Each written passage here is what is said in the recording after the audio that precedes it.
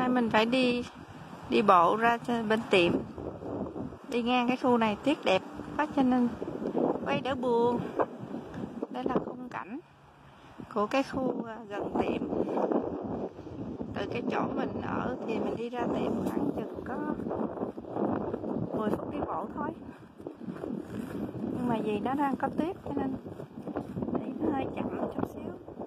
Mà lạnh nữa chứ này lạnh dễ sợ tiết đống nào đống nấy cao như đống núi à. Chồng đi làm ở trong bệnh viện buổi sáng cho nên mình phải tự đi. Không có tài xế chở. Cũng đi được, nhưng mà nó hơi lạnh một tí. Mà được ngắm cảnh cũng vui, chứ thường ngày chồng mà chạy thì chắc dèo con cái hai phút tới. Nhưng mình đi thì mình đi, mình thấy lâu hơn mà, nhìn đâu cũng thấy tuyết tuyết ơi, là tuyết tuyết như đống núi luôn. Đẹp ghê này nó ngoằn ngoèo như là địa đạo củ chi vậy. Củ chi kiểu mỹ nó ngoằn ngoèo.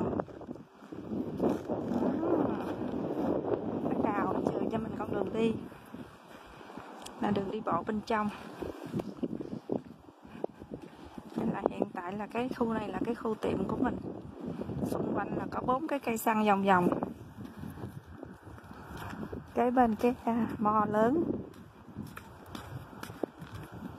Chạy 5 phút thì tới cái mo đẹp kìa. Không tất cả đều là một màu trắng để mình nằm ở phía kia. Mà giờ tay lạnh quá rồi hết muốn quay rồi.